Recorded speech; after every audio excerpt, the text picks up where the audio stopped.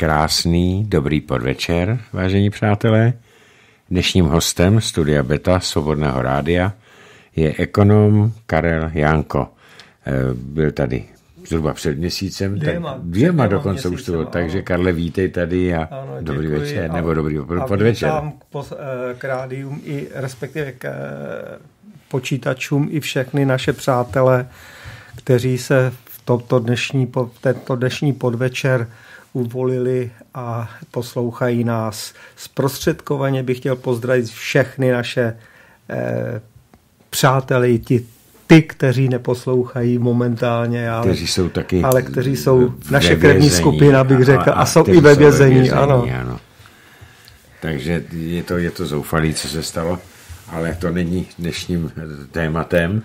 Dnešním tématem je, protože Karel Janko je, jak víte, ekonom, tak dnešním tématem jsou zase peníze. My jsme Ale se jenom. v loni, zhruba v září, v, v květnu, květnu a potom v září, ano. Bavili o té, té prognóze, ano, kolik ano, nás ano, bude ten covid stát. Už, jasně. Tak mě by zajímalo, jak, jak, si, jak si to odhadoval, tak jak, tak, to, jak tak, ten, tak, to srovnání tak, tak. vyšlo, Karle. Takže uj, ujmi se slova. Tak, děkuji. Takže prosím vás pěkně, vážení přátelé, první a poslední věty v tomto pořadu si půjčím z jednoho článku Jiřího Kobzy, protože ve svých vystoupeních se zabývá podobným tématem. A nejenom tím, ale on měl krásný článek, ze kterého jsem si to půjčil. Také jste si všimli, jak z veřejnoprávních médií skoro vymizely jiné zprávy než téma COVID. No momentálně eh, k tomu COVIDu ještě při, eh, přibyly i ty vrbětice, ovšem ty nejsou předmětem ekonomického eh, jaksi rozboru nebo přehledu, protože to teprve přijde na řadu, až se začne stavět nebo nestavět dostavba Dukovan. Takže ona, ta covidová hysterie, propaganda a zmatek v hlavách naší vlády nejsou ani zdaleka tak náhodné, jak by se mohlo zdát. Jde spíše o zastírání obrovských problémů, které se na nás dál valí z Evropské unie a kterým vláda ani většina opozice před rozhodujícími volbami nechce eh, manipulovat a manévrovat. Takže to jsou ty krizové momenty, které eh, už tady přišly v tom minulém roce a které teda eh, se snaží zastírat tou, tím covidem. Vracím se tedy ke své prognóze, kterou jsem v tomto pořadu udělal někdy v květnu nebo v polovině minulého roku a zároveň musím skonstatovat, že světem prolétl nový kmen koronaviru a to bez ohledu na všechna ta opatření přijatá všemi vládami světa.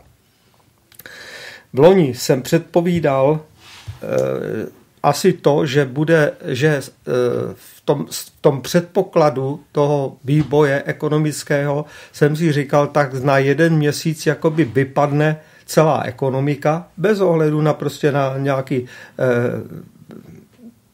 rezorty nebo, nebo zaměstnání, prostě, které jsou. Na měsíc to zavřeme a z toho jsem vycházel v celkovým tom, že se to rozloží sice do tří měsíců, do čtyř měsíců, nicméně jako základ jsem vzal toho, že, to, že pro, vypadne prostě jeden měsíc, jako by se úplně uzavřelo všecko. No ten měsíc právě dělá zhruba 450 miliard na na Sekeru teda. Ne, ještě ne, to je sekera.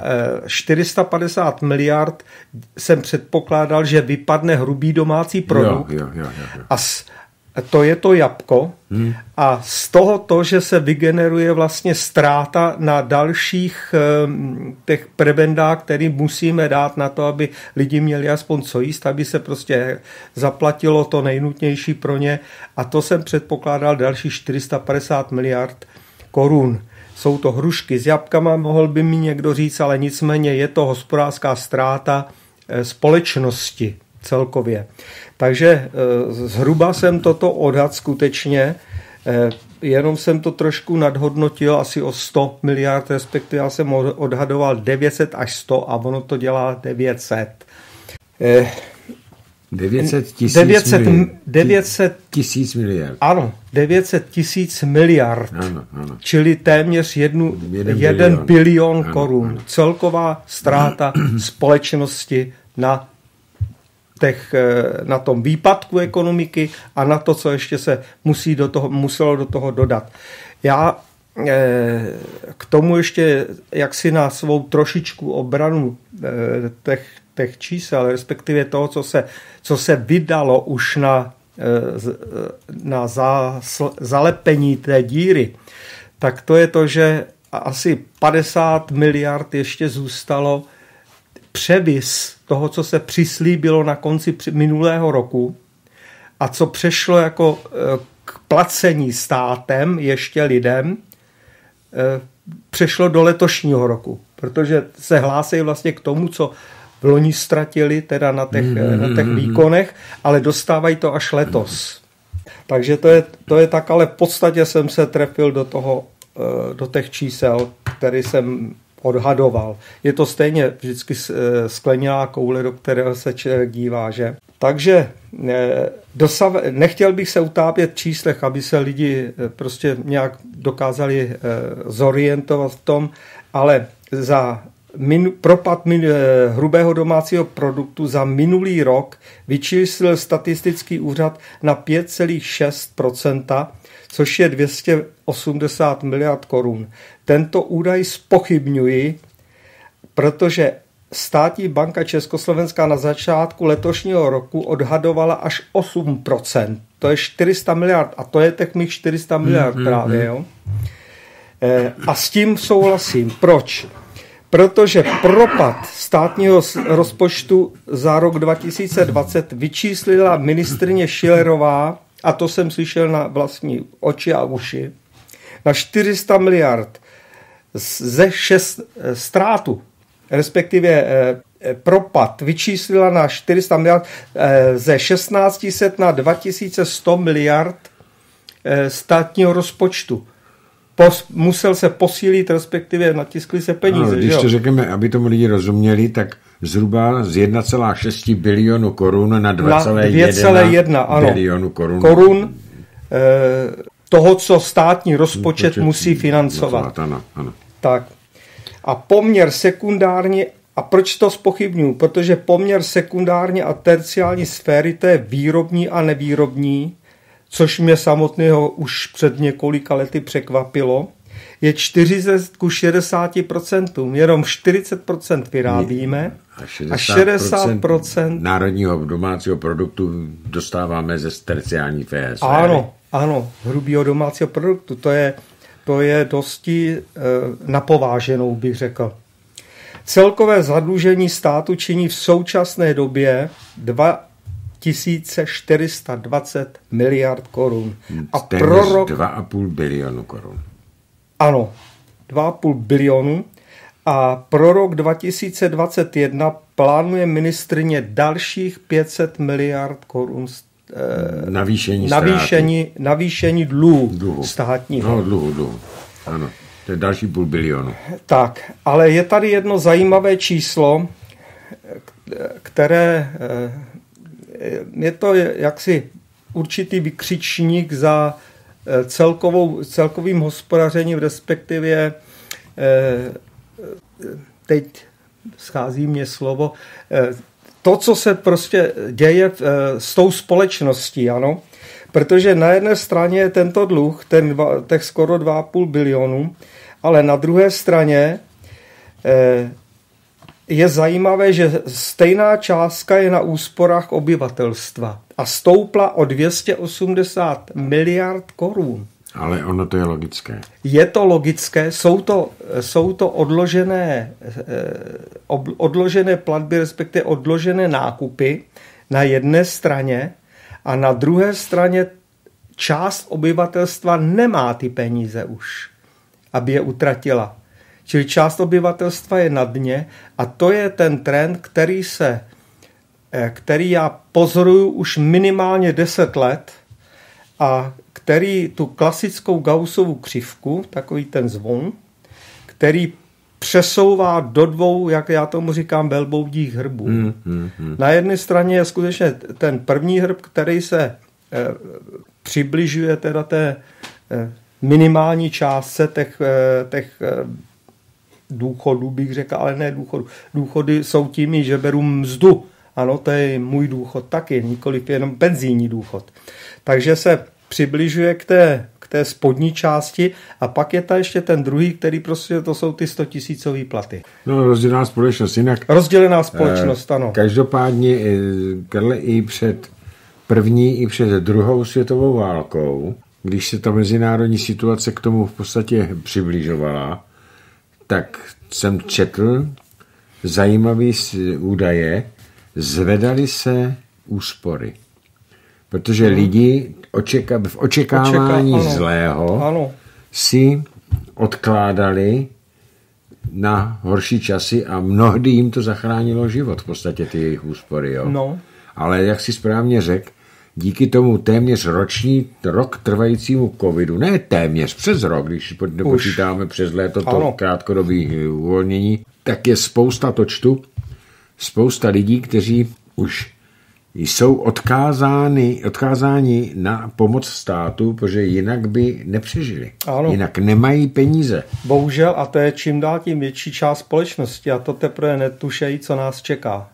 Netušejí, co nás čeká. Tak, bohužel ty státní úspory jsou dosti, eh, eh, podpory jsou, mluvím těch odporách, který, eh, těch 400 miliard, který nás to stálo, respektive státní rozpočet, jsou dosti nepřehledné a podle mě problematické bylo a je třeba pomoci skutečně jen těm skupinám, které nemají na, chlebo, na chleba a zastavení e, neměli by v podstatě z čeho žít, hlavně ty matky s dětma, že jo, který, jsou, který žijou, nebo skutečně ty e, i ty tátové, kteří vypadli. Ale rodiny s malými rodiny, jsou na tom ano, který, nejhůř.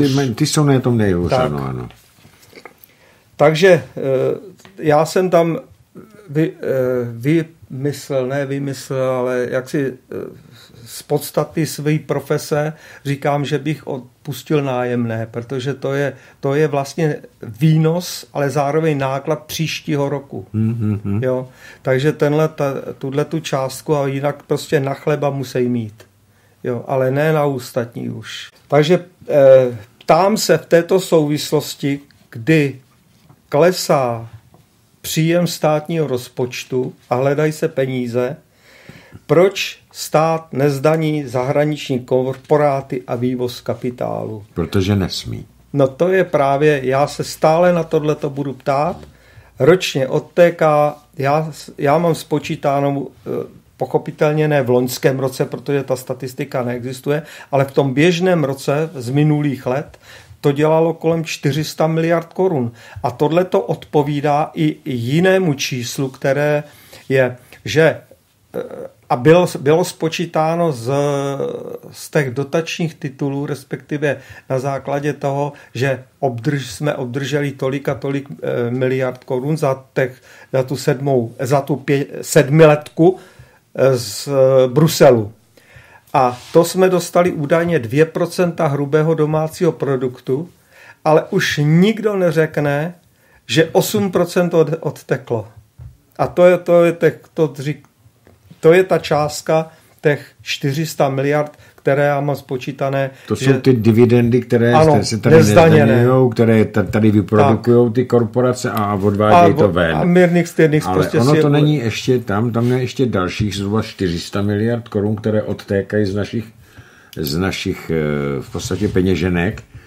A to jsou uh, nutné platby do všelijakých, do, do Organizace spojených národů, hmm do Evropské unie, tam se platí veliké peníze, stejně veliké peníze se platí do NATO a další peníze, třeba jenom, Karle, eh, vem si, je naprosto zbytečná ty naše zahraniční mise, Ještě. Jenom mise v Afganistánu stojí milion a půl denně. Miliard, milion a půl.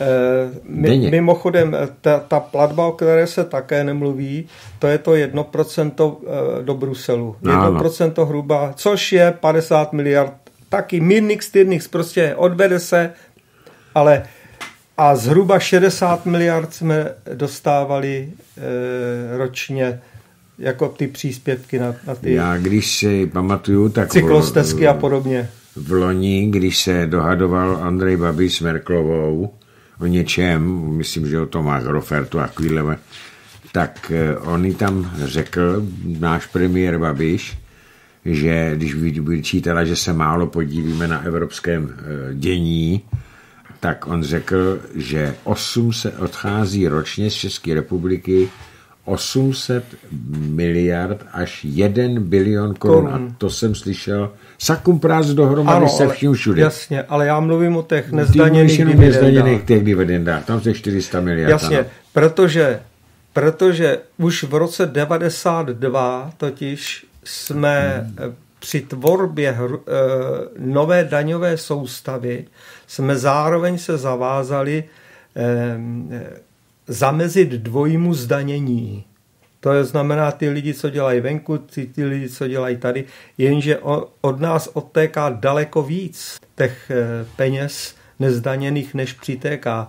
Takže velice jednoduše prostě ministerstvo financí a vláda odsouhlasí par, eh, parlament pochopitelně, zruší doložky eh, k dani k daní z, eh, z, ze zisku o dvojím zdanění.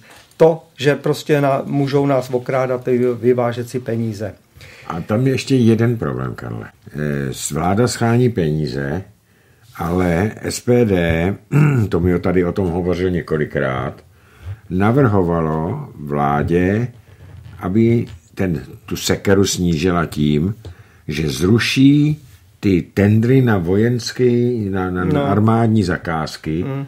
které jsou eh, sakum prás dohromady na, na 100 miliard korun. Jo, ty to vypočítával, vrtulníky, ano. 17 miliard, ale ono ta následná péče bude stát dalších 7 miliard ročně, teda mm, peněz. Takže a vláda to odmítá, protože zkrátka těm to musíme dát. Takže to je, když se šetří a, a hledají se peníze, tak tady se vyhazují na naprosto zbytečnou operetní expediční sbor, což je naše armáda, tak vyhodíme téměř 100 miliard korun úplně zbytečně. Navíc v, v případě těch helikoptér jsem se dočetl, a děl, a těch, že mají příští rok být vyřazeny z americké ano, služby. A, a těch děl, který se nakupují, a ptal jsem z ano, Francie. těch děl, to jsou ty Cezary. To, ano, takže já jsem se ptal pochopitelně i v, v jaksi glosech mm, na novinkách, mm, k čemu ty děla jsou, když ty jsou na frontovou válku. No, jo? no takže pokračujeme dál. Tak, ano. Takže eh, mluvil jsem o těch, o těch eh, nezdaněných penězích jo? A, a jak je teda ušetřit ještě. A místo toho eh, stát již přijal půjčku Evropské centrální banky dvakrát 1 miliard eur. To znamená kolem 520 miliard korun a další zadlužení, což je vazalství vlastně České republiky vůči Bruselu, respektive Evropské komisi, a které není v dluhu státu. Proč? Máme svoji měnu a svoji, svoji přebytky exportu. Proč tedy nepokračovat v tom, Eh, další eh, taková lumpárna, která se stala, je, že eh, prodal za Tošovsk, Tošovský prodal zlato, 56 tun zlata, což v te... době, kdy bylo na nejnižší, ano, nejnižší úrovni, úrovni jasně to bylo, to bylo za eh, 13 eur, ne, míň, ještě mít. Teďka, teďka bych hauzíroval. No bylo to, bylo, vím, že byl, se psal, ano, že to bylo Musel bych zapátrat dlouho, paměti, no, no, jasně. No. Já vím o tom, že jsem v roce 2017 dělal propočet tohohle toho a ta, eh, ten rozdíl cen té unce zlata vůči eh, z roku 13, ne 9, vůči 17 dělala, dělala ztrátu 35 miliard korun. Jenom tím, že, že jsme to prodali, že jsme to prodali pod cenou. Ten, ano. Takže 35 miliard Tošovskýmu na krk a e, do vazby s ním.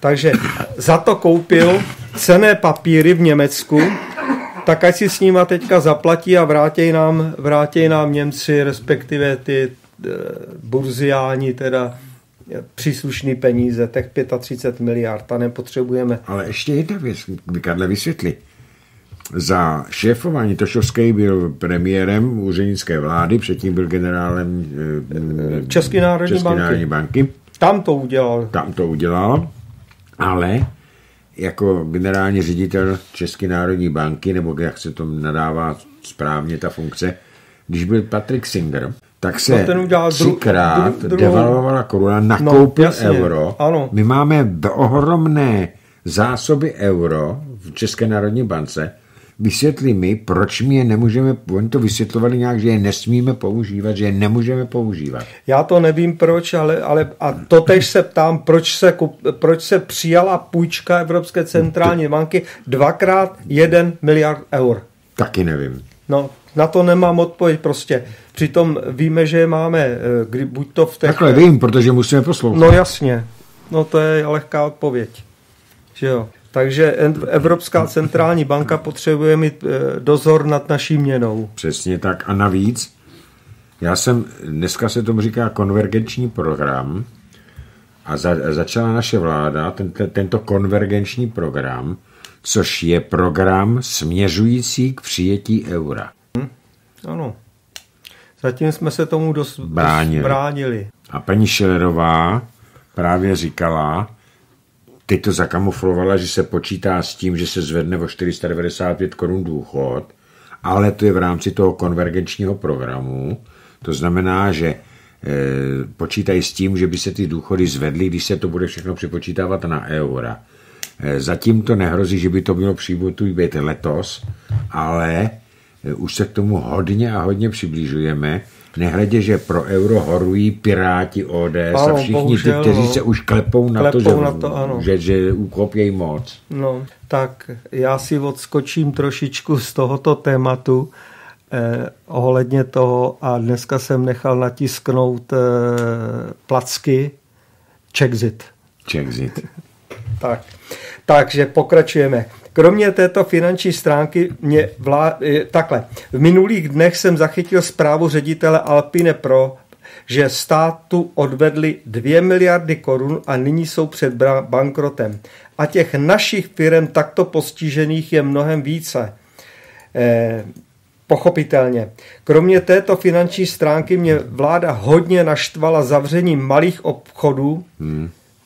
jo, a přitom jsou eh, velký zahraniční eh, řetězce otevřený, zavření sjezdovek, k tomu jedině to, že na sjezdovkách určitě covid nechytnu, ale kde se chytil, tak to bylo potom v těch barech v hotelech, hmm. když, když se tam slezli večer, tak tam, ty, tam ten covid chytli.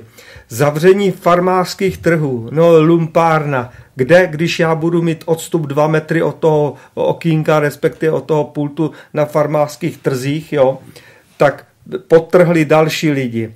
Zavření školek, což způsobilo pochopitelně vyřazení matek ano, z pracovního, z pracovního procesu. procesu jo. E, a, a, a dost, pochopitelně. A omezením pohybu a pobytu v přírodě. Prostě no, dostanu ještě k hodnocení. Proč vláda neuzavře, neuzavřela zahraniční obchodní řetězce? Jo, a nechám tam jenom ty potraviny, tak jako, tak jako to, se to stalo e, v řadě zemí. Řetězce, které, které dovážejí z celého světa e, t, e, pro, e, potraviny, ale nejenom potraviny, ale prostě textil a další prostě. No, veškerý tovar. Veškerý tovar, tak tovar.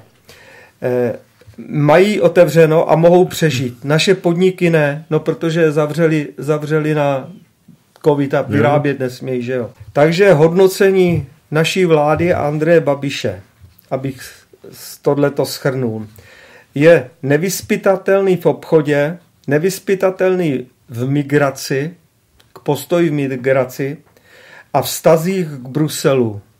Bohužel je ale stále lepší než ta pravicová zlodějská banda, včetně Pirátů. Je to pravda, je pořád lepší. Nehledě na to, že včera jsem tady čet v tom pořadu, jak Piráti, oni se od toho distancovali, že to je jenom takový pracovní, pracovní materiál, já materiál, je mám zmapovaný. Eh, od těch uh, ohromných nájmek svíra, ale oni dneska na tiskové konferenci prohlásili, že se budou muset Eh, že máme ne, nemravně z vysoký daně za práci, ale nemravně nízký daně eh, ostatní, takže budou muset zvyšovat daně, což teda přiznává i Šilarová, ale teďka mi řekni jednu věc. Oni tam chtějí, eh, říkají, že ve Spojených státech mají to taky zaněný až dvěma procenty ceny nemovitosti, ale Karle, řekni mi, jak budou moc lidé, eh, kdyby vyhráli Piráti, tak jak, co budou dělat s lidma, kteří na ty daně mít nebudou? No přijdou o majetek. Přijdou o majetek. A to je to, to jejich sdílení. Ano, ano. Dostaneme se k tomu. Tak Dostaneme povídej. se k tomu. Až v další části ještě hned to dost, do. Takže minulé, druhého druhý jsem tady byl, už to mám naps- už to vidím, kdy jsem tady byl, jak jsme o tom hovořili. Jsem hovořil o konzumní společnosti a e, jako o nebezpečné nemo- nemoci. A již je to i na pořadu řady prognostiků a mainstreamu. Nebyla to z mé strany věštecká koule, ani proroctví, ale obyčejný pohled na vývoj světové ekonomiky. S těmi plány a prognozami národ, nadnárodních korporací a deep states, respektive já bych řekl deep war, je to ještě horší, než se na první pohled zdá, a to v důsledku eh, další koncentrace kapitálu na jedné straně a úbytku disponibilních peněz na straně druhé. Čili eh, v důsledku tedy eh, neumím to říct jinak, koncentrace kapitálu, čili nabývá stále větší bohatství ta jedna nadnárodní společnost, která potom hýbe celým rezortem. Takhle bych si to teda dovolil vysvětlit. Takže, ale pochopitelně, ta automatizace vyřazuje lidi z pracovního procesu. Já jsem měl, není to tak dávno, prostě jenom tak na ulici s jedním hochem, Eh, debatu o tom, který mě právě říkal, no už aby bylo potom, aby jsme se zase vrátili do práce a eh, pokračoval ten, ten normální vývoj bez toho covidu, bez toho, bez toho. Jenže on netuší, že v podstatě eh, k tomu nikdy už nedojde na zpátek, k tomu, ne, co, co jsme tady byli. To je, to je překonaný a je to právě překonaný tím, tou hospodářskou krizí. S těmi plány Jo. Proto jsou tu nabízena na řešení celé ty hospodářské situace, jsou tu nabízena lákavá a líbivá řešení. Podívejme se, te se se mnou na ty krásné nabídky. Nepodmíněný příjem, komu Prosazují by se to, Piráti, mají ano, to programu. Komu by se to nelíbilo, pochopitelně dostávat neví, zadarmo. Se, neví, ano. o co se jedná. Ano, to je sociální rozvrat společnosti tohleto. Prostě mít za něco. A jak jsme se i posledně o tom bavili, jim bude minimální částka stačit, aby někde ve skvotu přežili za pár eh, pár eh, fufníků. No, pár fufníků, ale taky trošku mariánky k tomu. Že? No, samozřejmě, no. ano. Takže v jedných teplákách a bundě, respektive eh, něčem teplejším zimě, tak si tam prostě budou žít a tohleto, ale za jakou cenu. Sdílená ekonomika, majetek, auta, byty, jo? Čili auto, chaty, chaty domy, ano, pole. čili to je k tomu to vyvlastnění těch, eh, důsledek té vyvlastnění těch eh, domů, jo, bytu a podobně. Takže eh, to je plán na tenhle ten reset, jak se... Jak, jak se... pro tebe posluchači to slyšeli, eh, v oblasti Prahy rodinný domek o 120 metrech Piráti plánují zdanit 149,5 tisíci korun ročně. Daň z domku 120 ano. metrů, to není nic velikého. No jasně. Tak 140 to je běžný, 120 tisíc. metrů se vždycky počítalo na běžný rodinný dům. Domek, ano. ano. Tak to je právě proto, no. to je udělaný běžný. Takže pomalu 150 tisíc roční daň. Tak teďka si mi řekni, kde na to vemou eh, dva důchodci, tak. který si postavili v 60. 70. letech ten baráček. Ano.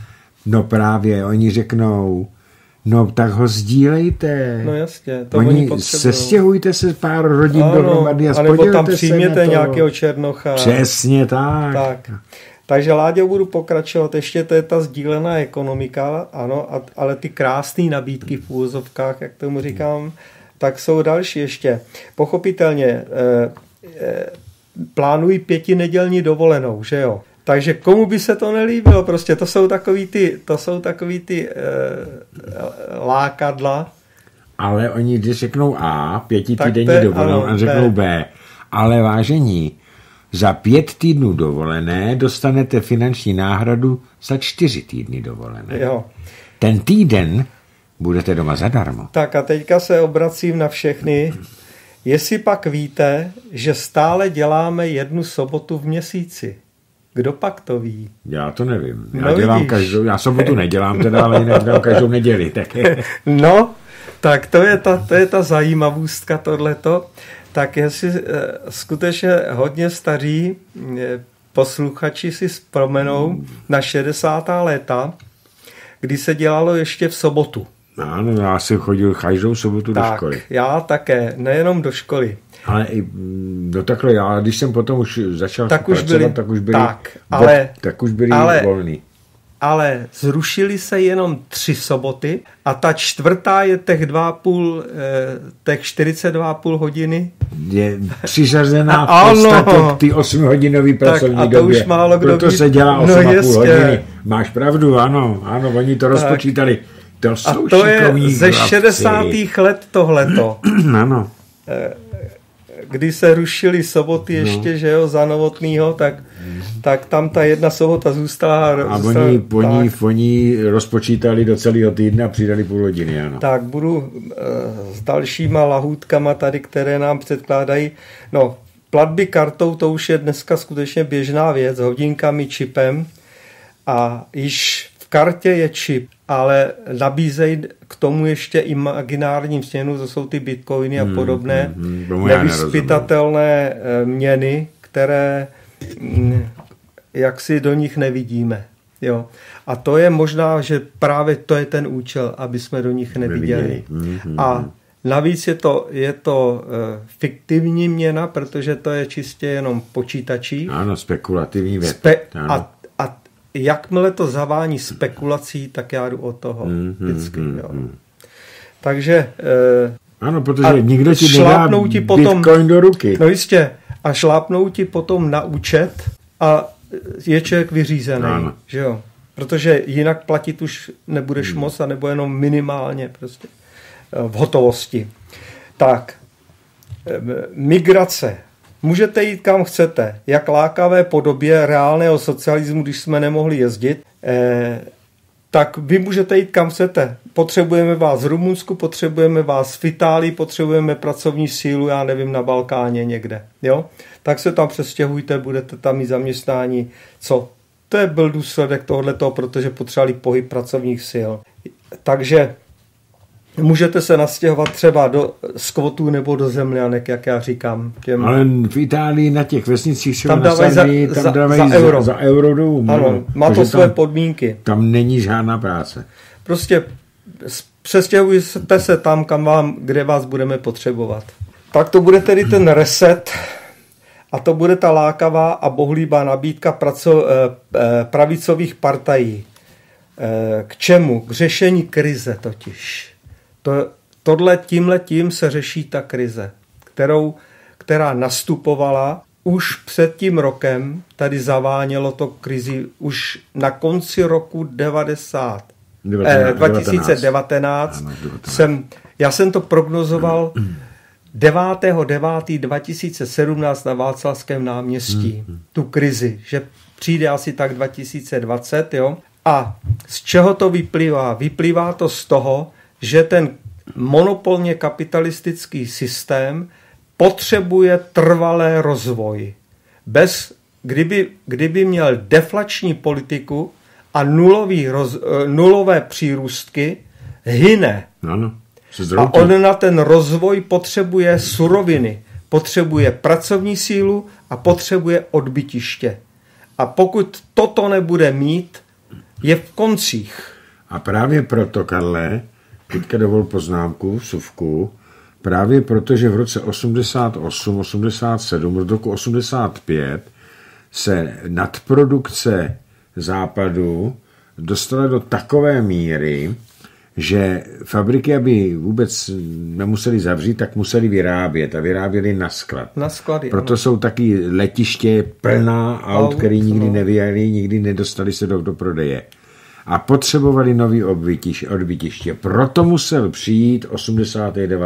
rok. Tak, jinak by byli v konci. Jinak by byli v a konci. to je celý problém dneška, proč oni útočí na to Rusko. Tak, protože už se dostali, zase se dostali do Z té tlustýho do tenkýho. nad, nad, nad produkce. Ano.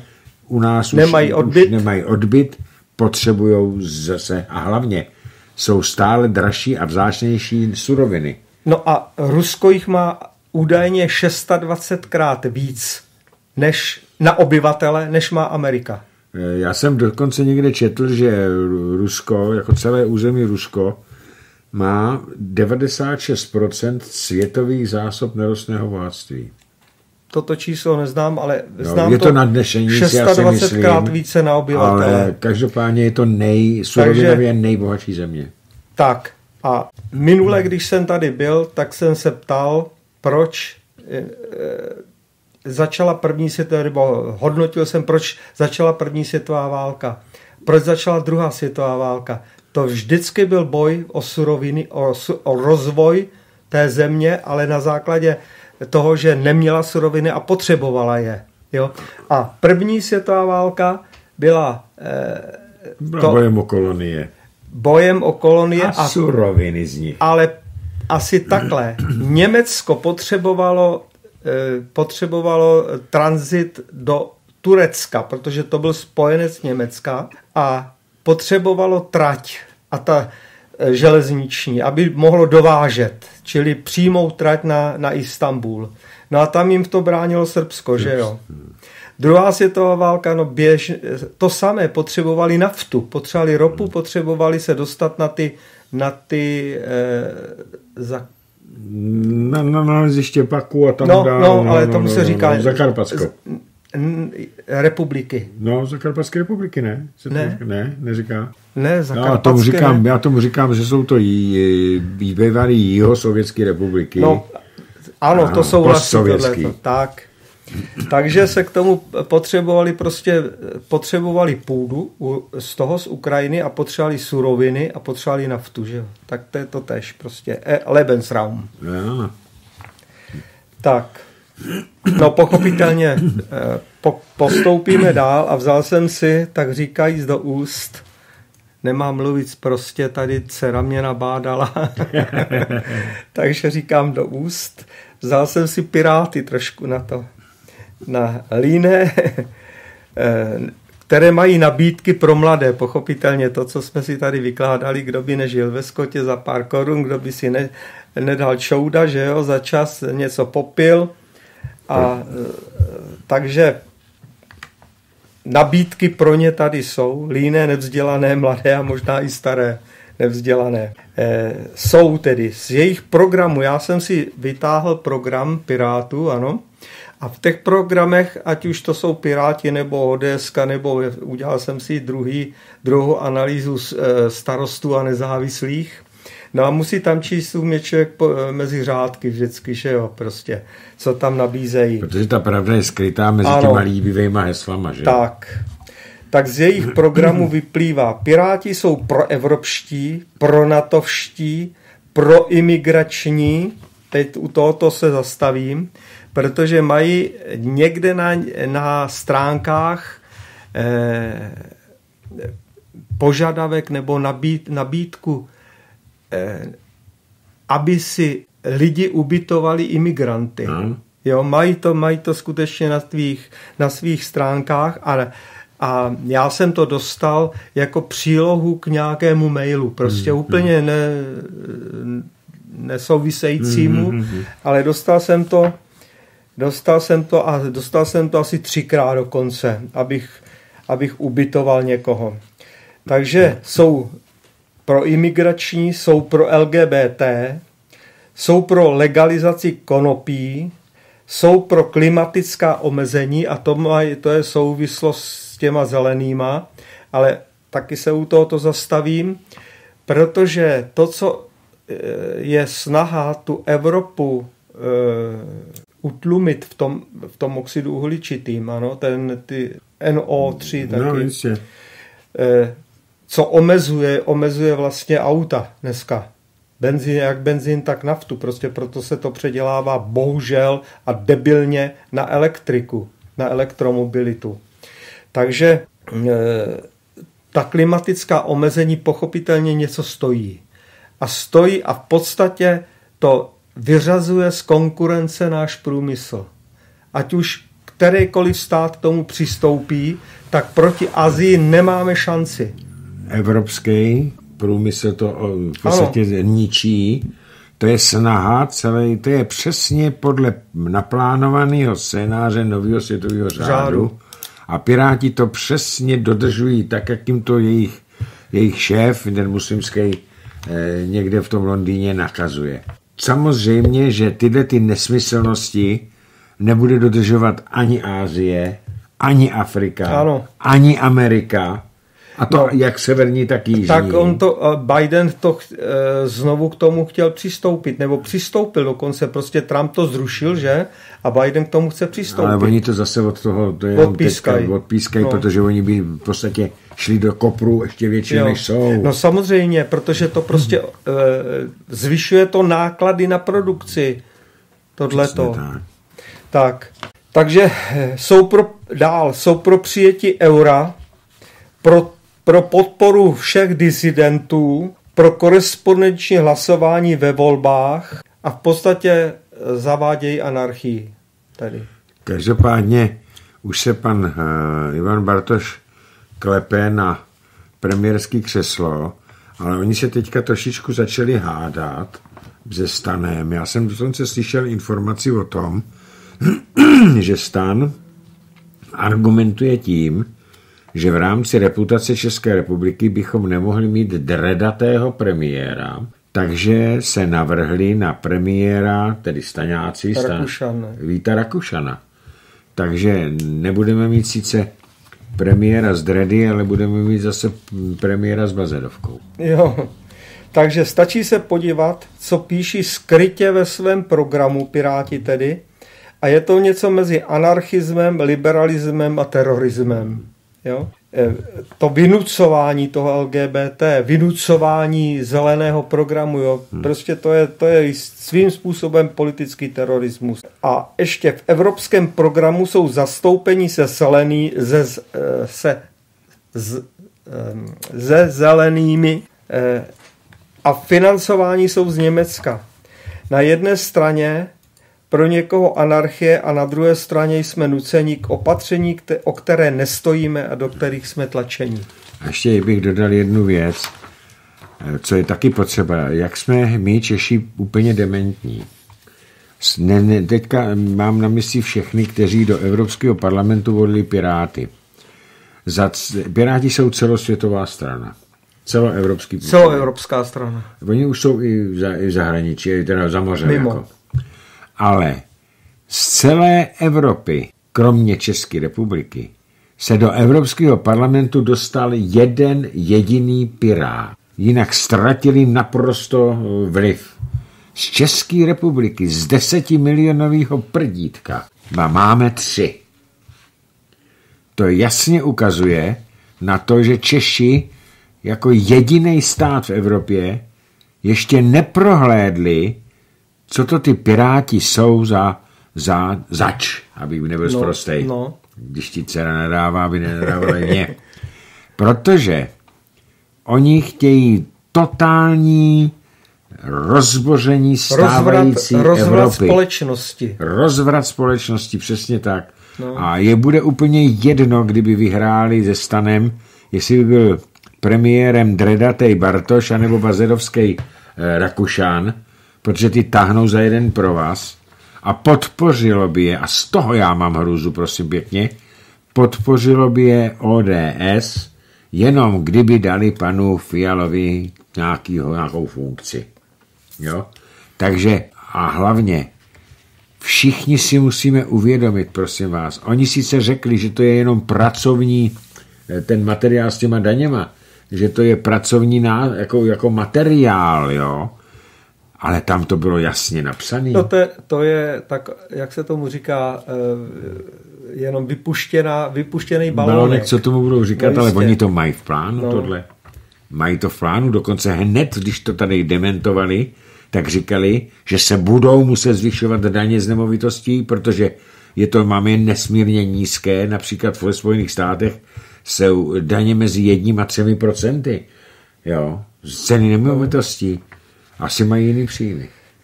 Já jsem si ještě poznamenal eh, k tomu předchozímu, co jsem tady, o čem jsem hovořil, jo, opatření eh, k té diktatuře a k tomu opatření, no, no. Který, o které nestojíme a do kterých jsme tlačení. To jsem tady posledně no. také vykládal o tom.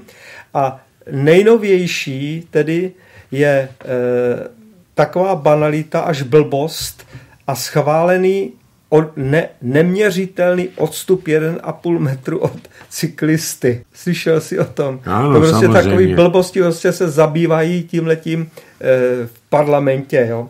A pochopitelně... E, Já tě přeruším. Říkáš blbosti. Ona to není blbost, ona to je tragédie. No. Protože jestli policie nějakým způsobem si vymyslí, že si předjíždí od cyklistů jenom ze vzdálenosti metru, ano. anebo 149 cm, no. tak to máš no. v bodovém systému 7 bodů a ztrátu řidičáku no. na 6 až 12 měsíců. Jo? Tak ona to žádná sranda nebude. No. To je další eh, v podstatě další teroristický Teror, ano, čin ano, proti, ano, proti ano. lidem. No a pochopitelně k tomu a daleko vážnější věc, to jsou ty covid pasy, že jo? Ano. Další. My jsme se tady bavili před přestávkou, před začátkem pořadu, se mě Karel ptal, jestli bude, budeme dělat svobodný rádio opět eh, Velká dobrá. na velký dobrý ten sraz. Eh, já jsem říkal, pokud budeme moci, ale teď si vážení přátelé uvědomíme jednu věc pan nový pan eh, minister zdravotnictví Arenberger je stejný pošuk, jako je tam byli ty předtím. To, to je jeden za 18, druhý bez dvou za 20.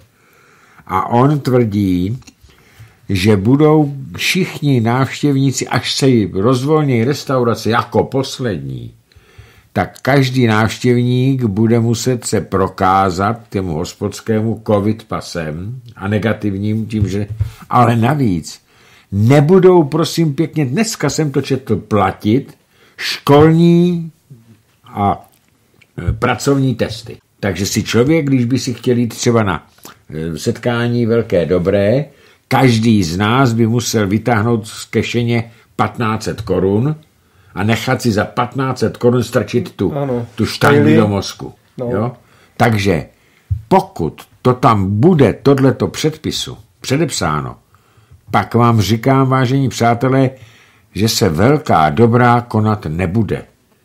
Já se odmítám nechávat testovat, já se odmítám nechávat očkovat a jestli bez toho by tam nesmělo být, tak bych chtěl vidět, kolik by tam přijelo lidí, kteří by si zaplatili a nesmí to být ano, starší ano. asi tří dnů ještě navíc, jo? Tak, my jsme se dostali teďka i k té koroně, kterou tady eh, mám, ale spíše z toho důvodu ekonomického. Ano.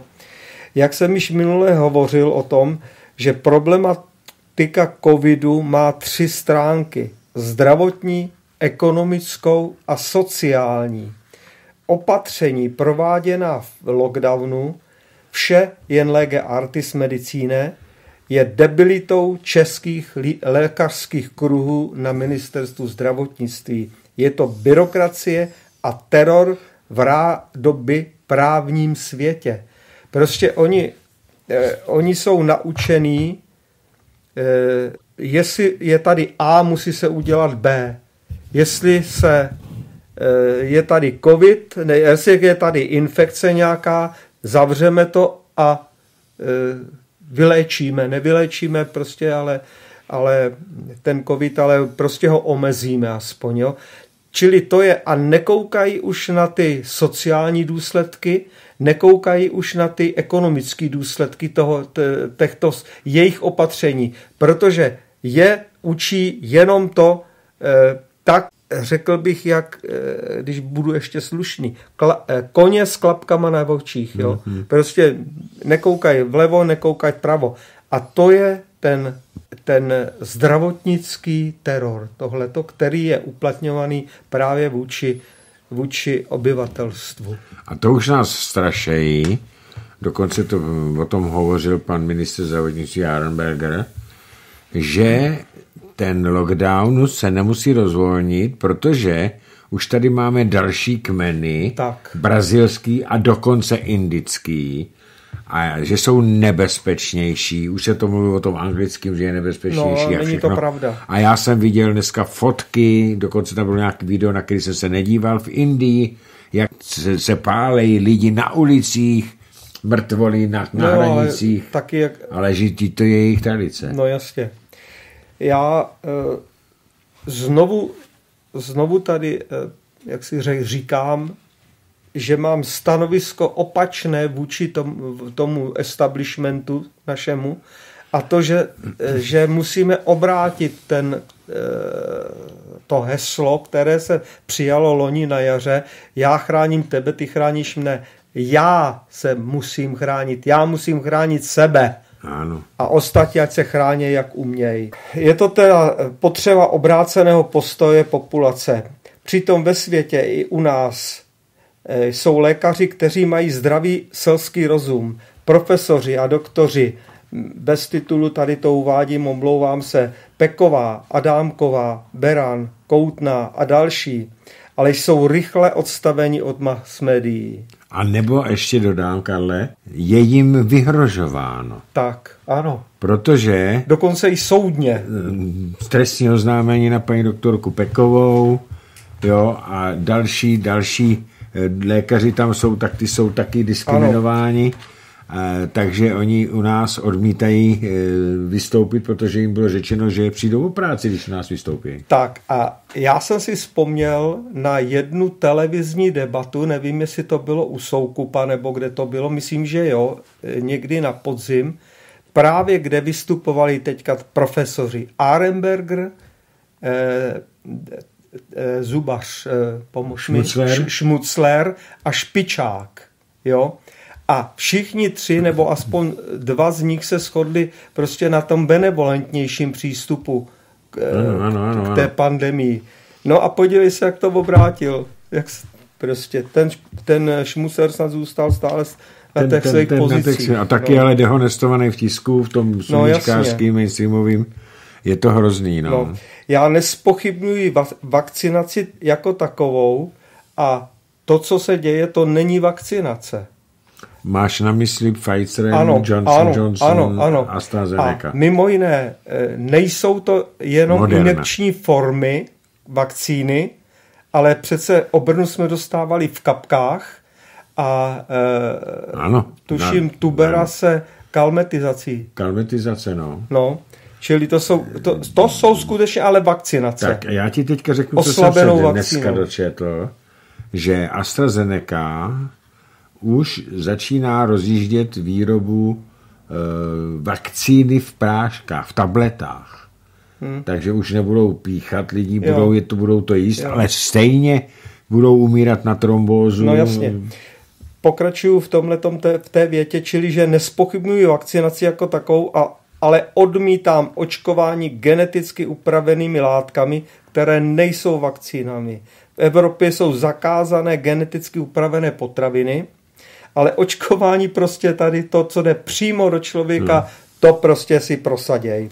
No, jsou zatím kšefty. Za prvé kšefty a za druhý snaha o depopulizaci světa. světa. Tak.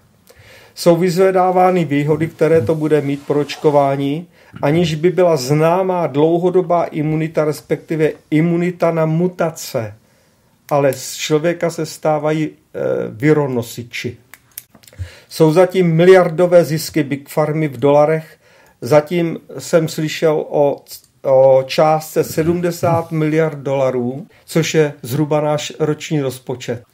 Nabízí se otázka, nakolik eh, je to celé řízeno z vyšších kruhů, protože Západ byl v nastupující krizi před těmi dvěma lety tak, jak, eh, jak se nějaká eh, ta epi, tak se nějaká ta epidemie hodila. A to i z hlediska přemnožení lidstva, že? Hmm. A pochopitelně se musím podívat i na propagandu prováděnou pravicovým blokem v souvislosti s koronavirovou epidemí. Vše, co vláda dělá, i když to kritizuji taky, ano, to, co jsem, to prosazování, dělá špatně. Ale když je náhodou něco dobře, vždy je zatím ale. Hmm.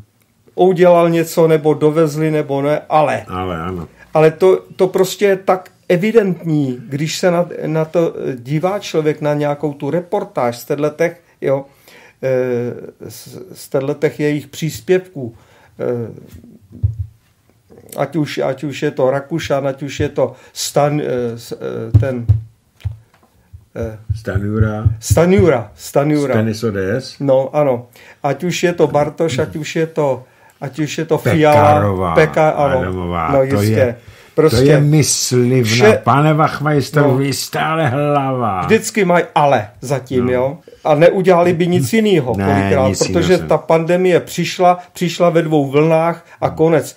Projelo to světem zrovna. Tak, jako to v loni na Ale jaře. Ono by to projelo, te- ta- ty- Bez ten ohledu. lockdown No jistě. ničemu nezabrání. No, ano. Ono by to proběhlo, kdyby byl nebo Takže nebyl. co říkají vše za účelem likvidace Babiše, aby se dostali, tak říkají, z klizu a k pašalíkům. To si neumíte lidi představit, kolik je zatím, eh, pa, no pašalíci, jestli je, ne, ne, nevím jak to, No, prostě umístěný svoje eh, eh, Kolik je, kolik je zatím koryt? koryt, ano, Tak to tomu každý rozumí. tak. To nejsou jenom místa ve vládě, ale to jsou náměstci, Ano, náměstci, náměstci, Ve správních radách. ve správních dozorčích radách. Poradenci, Teď se podívejme na primátora Satana Hřiba. tak, Ten má 30 poradců, placených z rozpočtu Prahy. tak. Tedy v podstatě z, rozpočtu státu. Tak, ještě Nikdy žádný primátor neměl tolik Tolika, poradců ano. placených. To prostě jsou nehorázné peníze a občas vyplave právě na, na to, na světlo boží, kde třeba ule, ulejvají na Praze 10, na Praze 6, na Praze, jo, Eh, jenom z ty Prahy, kolik toho jde, to jsou sta tisíce korun na, na různý kšefty. Svým kamarádičkům a přízděno, ano. A členům dokonce. Tak a stejné, stejné vyjádření, jako teďka prostě kritizujou eh, dostavbu jaderky v těch Dukavanech, že jo, prostě to jsou úplně na ruby, na ruby běs, běsněním, eh, jen aby se to prostě nedos, nedostavovalo, přitom nikdo jiný to neumí dělat. Jo. Prostě mám tady ještě jednu větu, kterou, kterou si prosím, eh, vážení posluchači, upravte do mé podoby, kterou bych ji řekl. Jak otevřou ústa, tak lžou, potřebovali by zavřít, ale pěstí. Vážení posluchači, máme 20. hodinu a touto větou jsme první hodinu našeho vysílání ukončili. Takže my se teď s Karlem odmlčíme do čtvrt na devět. Vy můžete už psát ty dotazy a o čtvrt na devět volat na známé telefonní číslo do studia Beta 731 720 756 a budete přímo ve vysílání. Takže teď do čtvrt na devět a přestávka. Tak máme po přestávce, vážení přátelé. A než dostanete slovo vy, naši posluchači, tak Karel tam má ještě jeden bod, tak bych tě poprosil, jestli by si ho mohl posluchačům přiblížit. Tak eh, celkově jako ekonom se přikláním k tomu, aby se ekonomika maximálně otevřela a chránili se pouze ohrožené os- skupiny osob. Vše na dobrovolné bázi. Nikomu, kdo se cítí ohrožen, bych nebránil nosit kdekoliv roušky, stranice společnosti, být třeba v atombordelu, případně na očr a nechat se očkovat kdykoliv a čímkoliv. To je každého věc Ano. tohleto. Vadí mi proto všechna ta opatření, kterými se vlády zaštiťují a z demokratického státu se stává stát fašistický pod diktátorem nadnárodních korporací. Tak to uzavírám ještě tu první hodinu a potom ještě bych eh, chtěl informovat a po případě i pozvat lidi, že 9.9. pořádá... 9. září. Ne, pardon, 9. Května. května. května. Tak. 9. tak, tak, tak. května na výročí tedy Ano. osvobození od, pravděpodobně od 14 hodin pořádáme eh, na Václavském náměstí eh, demonstraci. U koně? U koně, ano, proti postupujícímu fašismu v republice i v Evropě. Ano, ano, ano. Takže to ještě dodatek k, tomu, k té Takže první hodině. ještě jednou 9. Pátý, Pátý května u koně. ve 14 hodin u koně. Ve 14 hodin u koně.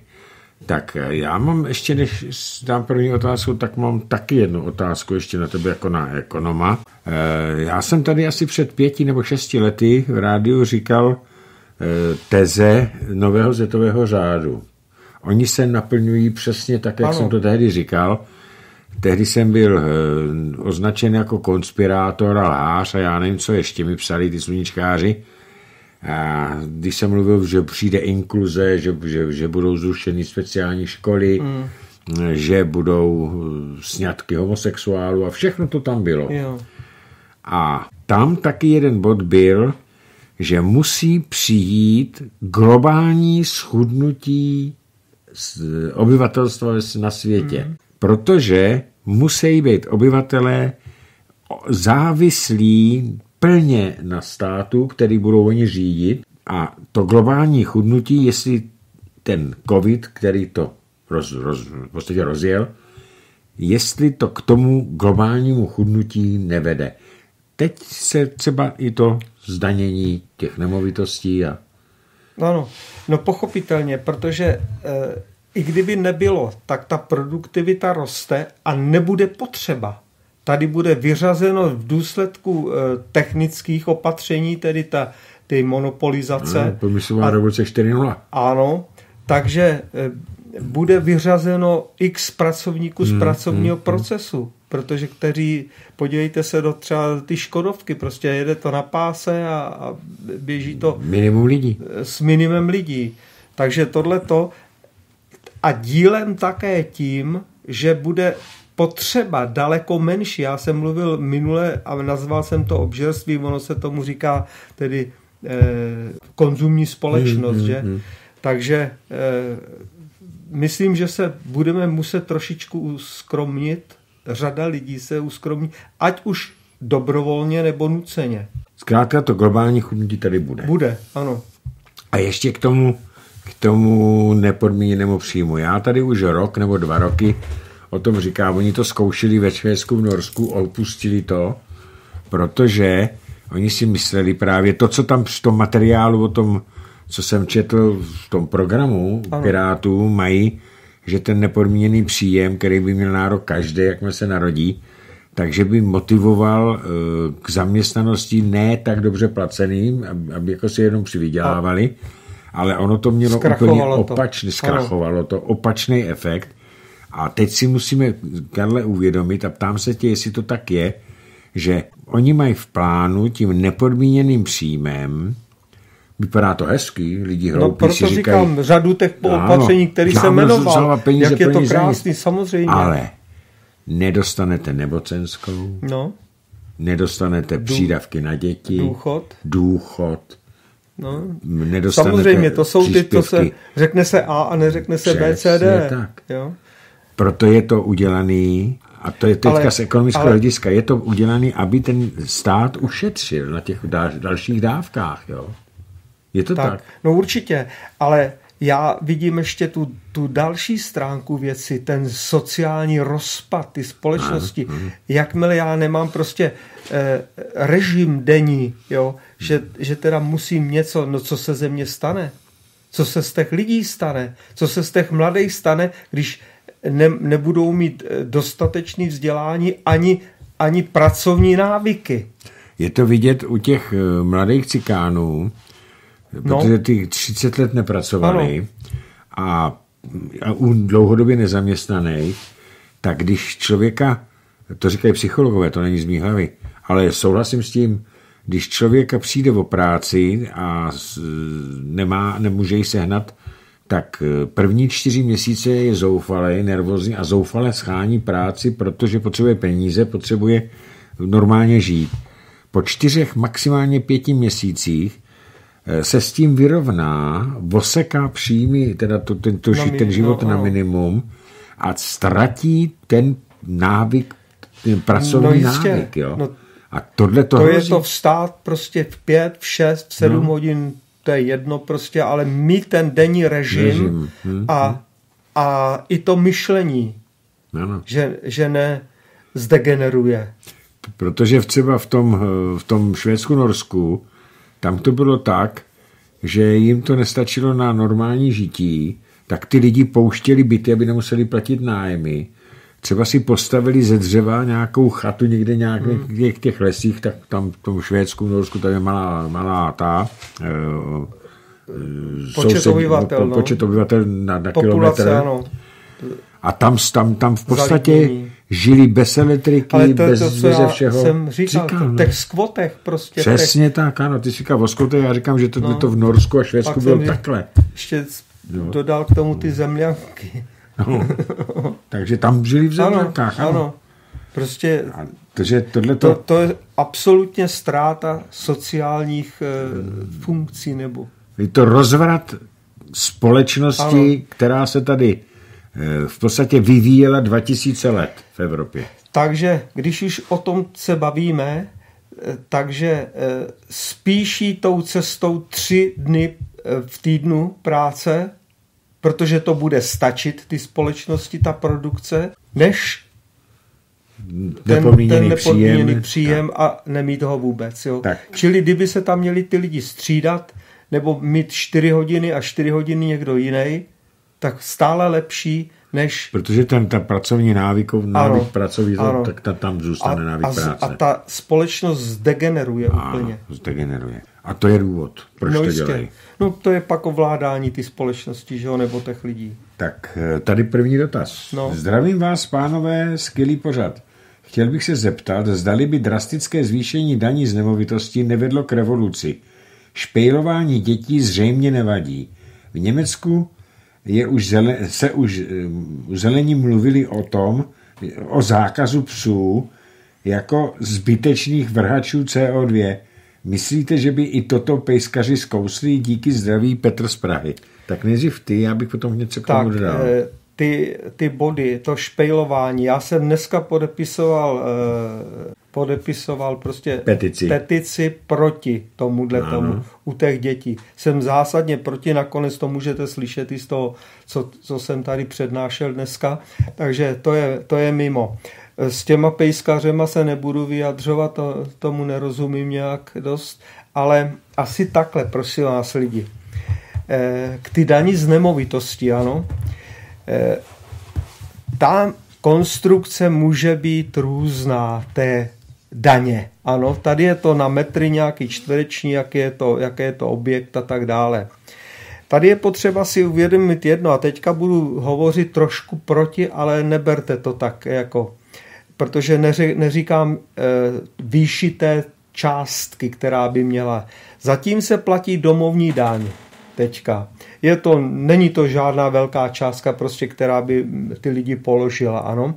Ta domovní daň, já jsem již, protože zároveň jsem daňař, ano, tak jsem i o ty domovní dani přemýšlel a e, tady je to, ta domovní daň e, jde městu, nikoli v státnímu rozpočtu. A tady by měla ta domovní daň částečně nebo do jisté míry eh, saturovat tu potřebu města, kterou poskytuje město tomu obyvatelstvu. Čili chodníky, silnice, osvětlení, tyto, tyto položky prostě by se byly eh, hrazeny a nevím do jaké míry úplně, jo, ale mělo by to být vlastně hrazeno pro potřeby toho obyvatelstva z té domovní daně. Ono to tak funguje. Ono to tak Teďka funguje, už ano. Tak, ale tady ale se já neříkám to zvýšení drakony a no to je, ne, to je nesmysl. Zvýšení, ale jakýkoliv zvýšení daní, já jsem proti tomu, protože z jednoho prostého důvodu. Když spočítáme, Karle, veškerý daňový zatížení, včetně popojených poplatků, aby si se koukal na televizi, tak my máme jedno z nejvyšších, když to všechno sečtu, ano. jedno z nejvyšších zdanění, 35%. zdanění v Evropě. Snad druhý nejvyšší no. po, po Švédsku. ale zároveň máme jeden z nejnižších příjmů Platu, ano. Jako, jako stát, no. jako obyvatelstvo vůbec v celé Evropě. Pod náma jsou potom takový státy už jenom... No ne, Slovensko ještě na tom hůř. Ano, Slovensko, protože přijalo euro. No jasně. Ale Moldávie, Ukrajina, ano. teďka tohle. Jinak, já jsem viděl takovouhle tabulku a my jsme opravdu na tom docela špatně, takže jakýkoliv zvýšení těch daní by bylo pro spoustu lidí likvidační. A navíc ještě jedna věc, tam je důležitá říct. Oni totiž chtějí dosáhnout toho, že by do 30 metrů obytné plochy bytu byly daně mal, menší, menší. A, a to pak má, progresivní daň. A pak až takovýhle veliký. No. Ale to má důvod, Karle. Aby se lidi na malej do malého bytu se stěhovávali, aby to vůbec poplatili a aby tady vznikly volné prostory pro ty nově příšetří, no, nový Evropany tmavé ano, kůže. Ano, ano, ano. A to, to jsou účelový, to piráti Ano, tohleto. to jsou ty účelový, uh, účelový prostředky tak. pro to, jak zotročit tu Evropu. Tak a teďka k tomu, tý, k tomu ty otázce ještě, jestli by to vedlo, ta zvýšení, drastické zvýšení daní z nemovitosti k revoluci, nějaký, že by se lidi zvedli. Myslíš si, že by se lidi zvedli tady u nás? No to by museli mít hlad z toho. Jenom z těch daní ne, ale hlad žene lidi že, do ulic. Hm, ano. No a tady, že v Německu chtějí o zákazu psů a zase jsme u toho. Oni to na... na, na jo, na zákaz co? psů, jako, no. no jasně, protože islám je nesnáší. Tak, přesně no tak. Jistě, a oni víme. to okecávají jako no. zbyteční vrhači CO2. No jasně. Ale protože islámisti se jich bojí, no tak se zakážou. Začneme tak. chodit s nima. Přesně, já taky psa nemám, měl jsem vždycky a teďka tady nemám. Takže to je, přesně to je to, ale já nejsem přesvědčený o tom, přesně jak říkáš. Dokud budou mít lidi, co si dát na talíř, ale ano. na talíř svým dětem, tak se nezvednou. Ano, to, ale to vždycky ale bylo tohle. To vždycky bylo a v českých zemích. No ale kdyby se takhle zvedli, že ty daně z těch Já myslím, že to je, to je balónek prostě tak, a že uh, oni, oni by uh, takto, ne, uh, takto drasticky to nezvýšili. Ale každopádně budou ale mají snahu, zvyšovat. Ano. Mají snahu a budou, je musíme zabránit tomu, aby no, se tam dostali. Aby se vůbec dostali. To je konec vlastně dnešního pořadu, vážení přátelé. Udělat maximum pro to, aby se ta pakáž nedostala do, do uh, vlády. Jo, tady nám Míra Steplis, jak si říkal, že kysiční kuličitý je NO3, ne to CO2, U, že jo. No CO2, se, ale uhelnatý. Uhelnatý. Tak je, to, tak je to CO3. NO to je, to je, Dusi, to, to je natrium. Jo. Tak máme tady telefon, tak ho vememe. Mm-hmm. Vydržte, vememe si tady ano. sluchátka, tak už můžeme hovořit. Michal, dobrý večer, zdravím všechny tam u vás i posluchače. Eh, neposlouchal jsem tak důkladně, možná mi to uniklo, ale chtěl bych dodat k tomu zdaní a vůbec ke psům a podobně, to, co se tady přikládá, že prosazují Piráti a Zelení. Oni to prosazují, ale nenechme se zmílit, že to je jejich agenda, že když je nezvolíme, že ti ostatní to prosazovat nebudou. Budou. To je rok těch nejvyšších míst a teď to jenom přispěli těm pirátům, protože je naplánované, že vyhrají, že to budou muset prosadit. No a kdyby ne, tak je to v podstatě takové 09. Špatně vás slyšíme. Ano. Eh, pokud, prosím vás, pokud budou opravdu lidi zodpovědní, tak by nevyhráli. Pokud se podaří sněmovně zakázat eh, a nepovolit korespondenční hlasování. Ano. Jakmile povolej, prosadějí korespondenční hlasování, no tak už budou vždycky vyhrávat ti, kteří vyhrávat mají.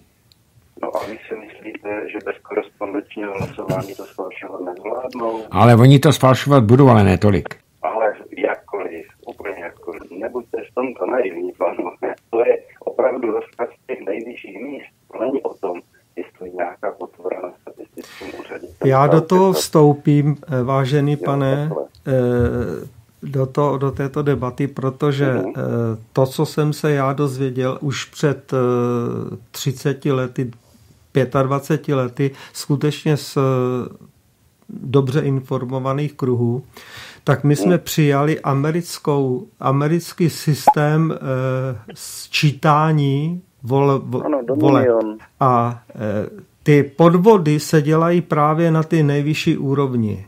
No Jistě. Ano, ano. Jo?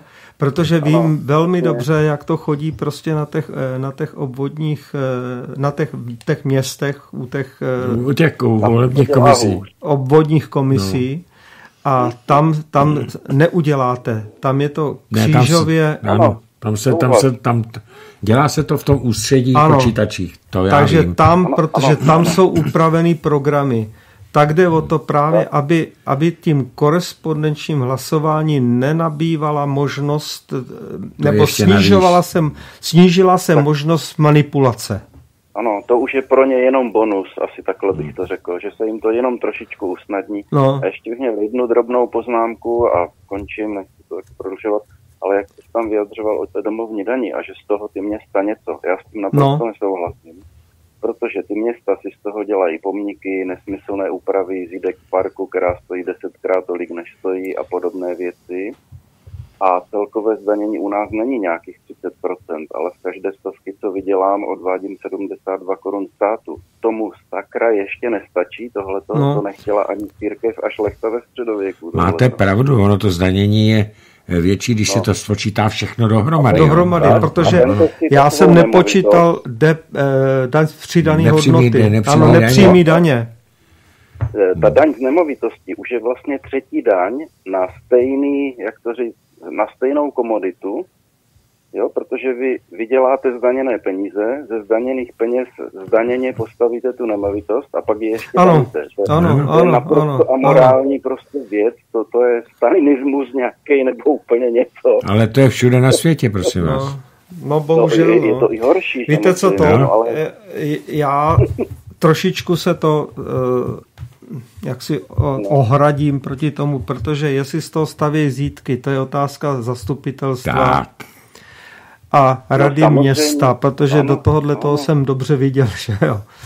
A takže, takže otázka použití té daně, těch anonymních peněz, který to jsou v podstatě, když se to dostane do, to, do, to, do té městské kasy, tak je otázka toho, co schválí eh, zastupitelstvo jako plán rozvoje města.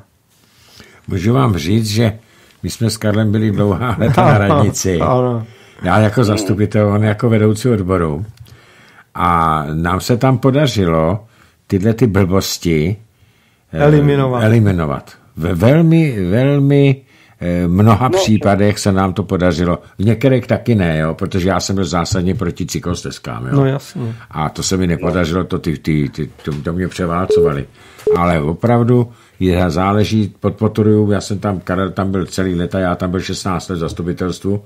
No já devět. No, tak Ne v zastupitelstvu, jako ty, jako, úředník. jako, jako úředník. Takže eh, potom něco víme. No, a, Bohužel si musíme přiznat, že my jako daňoví poplatníci jsme ti nejhorší a nejhloupější zaměstnavatele, co vůbec Ano. existují. naprosto. To. Státní zprávy. Protože vůbec nevyžadujeme na svých zaměstnancech, aby konali v náš prospěch. To je, tak, ano. Kdyby kdokoliv tohle bylo v jakýkoliv firmě, tak ta firma nepřežije ani první měsíc. Je, je to tak, máte pravdu, ano. Ale tak je to na světě nastavený, no. No, nastavený. Víte co, na vojně se říkalo, voják se stará, voják má. No a když se ten, kdo to financuje, nestará ani o to, jo, když těch 70 korun ze stovky jim dám a ještě na to budu kašlat, tak kdo je tady ten blbec? Takhle se Já, vím, já chci říct jenom to, že to je takhle zařízení po celém světě. Já neznám jeden stát, který by takhle nedrancoval svý lidi. No tak to je samozřejmě taková ta vějíčka demokracie, kdy my vlastně Ano. máme mít dojem, že, že něco vlastníme a Jo. na tom se podílíme. To je i ta vějíčka voleb, kdy my volíme jenom předem nachystanou kandidátku, jo, kdy, kdy vlastně jako se jenom rozhodneme, jestli to bude... No ale to ještě aspoň máme no. těch eh, sedm, osm kandidátek. Nemáme, No, ale- nemáme jednu. Jednu, jako to bylo. No v podstatě máme jednu. Já, bych, Jo. já vidím dneska strany jako politické firmy, oni Jo. Jo, dříve byla politika někdy v době snad Jakobínů po francouzské revoluci, nebo A někdy. vůbec ne. Tam vůbec ne. Já si o to něco přečte, vůbec ne. Tam, když se třetí stav chtěl zbouřit, tak se tam eh, přepadávali eh, v noci eh, a a dělali se, dělali se ty, aby hlasovali jinak. Vůbec ne, to bylo... Ani tehdy. No, Ani tehdy to ale, nebylo. Ale, ale nějaká iluze prostě se podařilo vybudovat mezi běžným lidem, že demokracie nějak je... Prosím vás. To To bylo byl nějakých myšlenek. naposledy snad za Jana Bezemka Magna Charta. Já nevím, ale já si myslím, že demokracie, kterou vymyslel Perikles, a takže nefungovala nikdy, protože on po fungovala deseti letech v, v demokratických voleb, tam byly demokratické volby a vládnutí, tak on potom odešel na venkov znechucen a prohlásil, že nezná nic horšího, než je demokracie, ale bohužel je to to nejlepší, co může být. No, No, ale znechuceně, znechuceně odešel. Osvícený absolutismus. Taky ne. Jo, jo, jo, to, to, to je dějný paradox, že ty demokracie zkrachovaly všude na tom samém. No, a to je ano. vlastně nezájem jejich majitelů, což jsou ti lidi, kteří Ano, to přesně tak. Já, To je jako- já vás musím, musím zastavit, aby tady se dostal taky Ano. na další, pane Michale. Ano. Dě, díky moc, mějte se hezky, pěkně. Tak, jdeme, eh, jdeme na další otázku. Je, něco se... Dobrý večer. Další kanál, kudy jsou z České republiky vyvázení peníze. Ceřiná společnost, stoprocentně vlastněná západní firmou, má jediného odběratele své produkce, jsou západní matku, jež za to platí v podstatě jen náklady, takže tato ceřiná společnost na téměř nulový zisk a tedy u nás odvádí minimální daně. Západní eh, Západní matka produkty své dceřinky uvede na trh za tržní cenu a schrábne tučný zisk. Má pan Janko představu, o kolik peněz přicházíme touto cestou? Děkuji, zdraví Vicky. Víte, eh, pochopitelně, já jsem eh, hovořil o 400 miliardách, ale to jsou jenom ty, ty peníze vyváděny oficiálně eh, s těmi organizacemi, těmi monopoly, těmi fabrikami, těmi obchodními organizacemi a bankami. Tam to dělá kolem 70, 80 a jednou to dělalo až 100 miliard korun za rok od vyvezených bank. peněz. U bank. U bank, ano. Běžně, běžně kolem eh, 70 miliard. A za Kalouska to bylo právě ten jeden rok, kdy, to, kdy si vyvezli 100 miliard. Takže eh, a tohle to jsou peníze, které jsou, eh, o které mluvíte, to je nepostižitelný. To prostě, eh, Pokud to ten stát dovolí, tak, ano, tak pokud je to ten právě, že to dovoluje. Ano, to dovoluje. Ale, Takhle se vykládají státy. Ale, ale ty nejsou nikde zachycený, Hmm. protože, protože ten zisk je vykázaný někde jinde. Takhle přesně kradli za předešlých vlád ve Venezuele američani, eh, než tam přišel Hugo Chávez, tak tam měli eh, 13% domluvu, že se dostanou 13% z prodejní ceny ropy. Tak co ty američtí ropaři, tak ty firmy udělali? Založili si dceřinku, přesně jak to píše pan Vicky, která těžila tu ropu a ta společnost těžila ropu a měla tam v Venezuele dceřinou společnost, který to prodávala za, za v podstatě za těžební cenu. To, to znamená, že z toho dostal ta stát šíleně málo, Málo, peněz. ano. Ale ta dceřinka to prodala svý další obchodní firmě, ta to prodala za normální tržní cenu, přesně jak to píše pan Vicky, a veškerý zisk z té ropy s- schrábla ta těžařská společnost. Tak. A proto to ten Hugo Chávez znárodnil a proto ty američani tam teďka chtěli udělat násilný převrat. Tak, ale tady, jak to píše ten pan Vicky, tak tomu není co dodat. Prostě to je naprosto to- jasně řečený. Tady Ano. není, není e, možná žádná... E, Ale hez- obrana není, jo? Obrana, ano. Je tady obrana. No, z, no Tak- znárodni to. Znárodnit, jedině ze znárodnit, přesně tak. Jako to udělal Hugo Chávez. Stálo ho to život. No. Tak eh, další dotaz. Dobrý večer, pánové. Reaguji na poznámku pana Kapala, že v Evropském parlamentu máme tři piráty. V roce 19, když se volilo do Evropského parlamentu, jsem pracovala na jedné z vysokých škol v Praze. Piráti tam rozšiřovali letáky o tom, že je lze volit elektronicky. Volby mohly být cinknuté. Alena z Prahy. Paní Aleno, oni byli cinknuté. To jako ano, my víme, ano, že byly cinknuté. Ano. Nebyly cinknuté tak jako ve Spojených státech, kdy v podstatě otočili výsledek, ale cinknutý byli, byli, viděli jsme to, Karle, přeci no, na tom, jak vypadl eh, ty, ten, ten internet na jo, jo, před koncem. Ten, uh, blackdown. No, no, tam, tam, na hodinu. No, no, no, no, no, no, blackout. Blackout. No, jak to vypadlo, takže byli cinknutý, paní, ale máte pravdu. A, a proto, proto říkám to, co jsem jako se dozvěděl, to, že na tom staťáku prostě tam je potřeba ta kontrola. Já to tvrdím pořád, že by Tomio Okamura, Měl... Mm, ale oni jsou slabí, no jo. Eh, oni to neprosadějí, že by měli prosazovat kontrolu i v tom statistickém úřadu, tam, kde se to dává do těch počítačů, na těch volebních okrskových eh, těch, tam se to nedá eh, zfalšovat. Tak, jak jsem to říkal, prostě ano, tam, přesně, tam se nedá falšovat, tam je křížový, eh, kontrola. Křížová kontrola prostě a nenadělají s tím ty, uh, ty komise nic, nic ty no. volební. Takže další telefon dobrý večer. Dobrý večer, tady je Jura z Prahy. Já jsem rád, že jsem se dovolal, chtěl bych pozdravit teda pana Janka, kterého poslouchám, stejně jako celé svobodné rádio. No, díky. A Eh, je to, mě právě teda, já jsem se ho mu původně chtěl položit úplně jiný dotaz, ale, ale teď mě právě vyprovokovalo s těma volbama, takže, takže právě mě by zajímalo, jestli náhodou neví, protože já jsem, mě to strašně vrtalo hlavou, když teda já jsem sledoval ty volby 2017 do parlamentu a jako bylo mi jasný, že to muselo být nějak cinknutý, ale ne, nenašel jsem způsob, jakým to teda jakoby to a Několikrát jsem zkusil, vždycky oni mají, asi teda mají kontrolu docela velkou na, na všech možných eh, jakoby diskuzních serverech a podobně a hlídají nejspíš jakýkoliv náznak toho, že někdo, někdo řekne něco relevantního, co by mohlo vést k tomu odhalení. Ale přesto jsem to teda nikdy jakoby neodhalil. Jako, jo. A mě by zajímalo teda, jestli pan Janko nějak třeba ví, jak to bylo udělané, protože já teda myslím, že jsem to přes 14 dny na to přišel a že tam je v podstatě jako strašně drzej trik na to.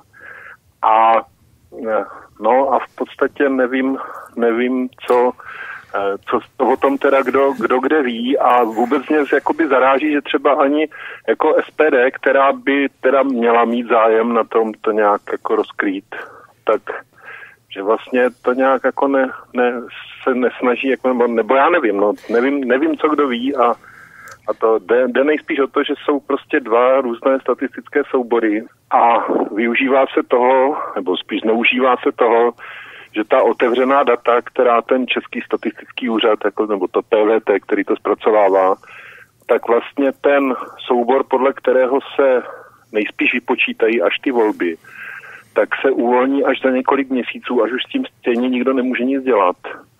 Ale zároveň zmizí ty jednotlivý, jakoby, eh, co, co jsou původně, když ty volby probíhají, tak nejspíš zmizí ty, protože už, už teďka tam třeba nejsou, jako nejsou tam už další dobu. Eh, vstoupím tak, do toho. Jo. No, poslouchejte odpověď. Prosím no, dobře, já, já si zapnu rádio a budu poslouchat odpověď. Děkuji. Díky, jo. Eh, ta, ta to zkreslení není možný na tom, na těch obvodech dělat. Tam dokonce staťák přece, když si otevřete výsledky voleb, které jsou veřejné, tak tam jsou kontrolovatelné jednotlivé vesnice dokonce.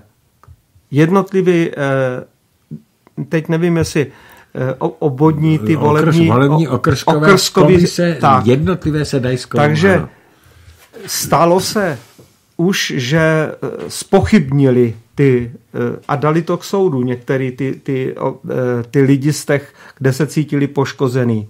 Ale to jsou nepatrné částky. Vy se potřebujete dostat 10 tisíc, 20 tisíc, 100 tisíc hejbnout s tím, s, s tím číslem, s tím výsledkem.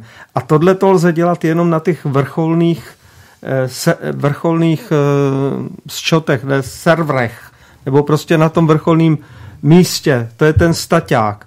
A proto, proto upozorňuji na to, že eh, především tím korespondenčním hlasování, když se vám dojde tamhle, já nevím, z Londýna tři tisíce hlasů a jsou pro Piráty, nebo eh, já nevím, pro, pro kohokoliv. Pro topku. pro topku třeba, jo. Takže ty jsou spochybnitelný, tyhle ty. A proto, proto ty Piráti chtějí maximálně eh, maximální, mít maximální možnost k, ke, eh, k počítačovým eh, úpravám, nebo k, k poči- aby se dalo prostě korespondenčně hlasovat přes počítač, přes elektronické, přes elektronické hlasování. hlasování. Tak já to je, tam, tam ten, je možnost. To, jak já jsem četl, tak ten program, jak se to falšuje, ten program Damiany, který my taky používáme, nebo Damiano, tak on je nastavený, je to podobně, jako byl ten podvod počítačový v Bingu. Protože tam ty programátoři nastavili ty lidi, kteří tam mají vyhrát, jo, a ten, ten, ten počítač potom si to sám udělal a vypadalo to jako, že to je opravdu náhoda. A tady se mění, v tom počítači se to nějak, já nejsem ajťák, já tomu nerozumím, jenom jsem četl a pochopil jsem to tak, že ten počítač automaticky přidává, přidává hmm. určitým stranám, kterým má, do, přidává hlasy. Takže mu příklad. Eh, třeba, ať ne, nemluvíme o SPD, tak třeba sociální demokracie potřebuje dostat eh, o 100 hlasů víc, tak se uloupne každý straně, která není zrovna ve fóru, tak se uloupne pár hlasů a ty se tam ten počítač tam přidá. Nikdo, i kdyby tam byl v tom, v tom uh, staďáku, tak to nezjistí.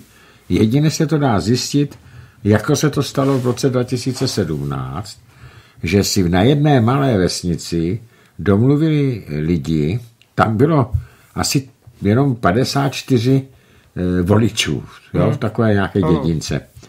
A 20 lidí se domluvilo a hodili tam SPD a pak se koukali na ten volební okrsek, kolik dostali hlasů a oni dostali dva ale to museli dělat, to musí dělat podvod, čtvrdý podvod, ale na tom, na tom okrsku. Na tom okrsku a nikoli a kdyby, v tom ty centrále. Kdyby si, kdyby to je to, ono to je těch asi 12 tisíc je těch okrsků, jo? Láďo, ale... ale ty... Dalo by se to spočítat, Karle, jedině, že by tam někdo... Vše, všechny, o, kdo spočítá všechny... No vše, právě, to, nikdo to, to nikdo nespočítá prostě, aby spočítal jednotlivé vesnice. No, to, to nespočítá. No. Je, to, je, to, je to boží, je to, je ne, to tohle to se nedělá na těch vesnicích, to je, to je podvod čistý prost, prostej, prach z prostej, ale ta ta manipulace... Ale ne, to se ne, ne, oni neříkají, že to udělali na té vesnici, to mohli udělat kdekoliv. Že jim to sebrali. Že tam, ne, že tam věděli, že tam hodili jo. 20 hlasů jo.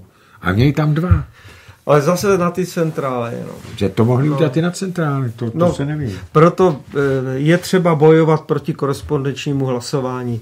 A zároveň já tvrdím, kdo chce hlasovat, tak ať si přijede sem. Tak s tím taky souhlasím. Tak. A ne, že budu žít tamhle v Jižní Americe nebo v Severní Americe a tady si budu hlasovat, když tady nežiju. Na to nemá právo. Zadá. Tak, tady je zdravím. Potřebujeme vůbec k životu politiky. Nemůže společnost bez nich v pohodě fungovat? Ptá se Radek z Moravy.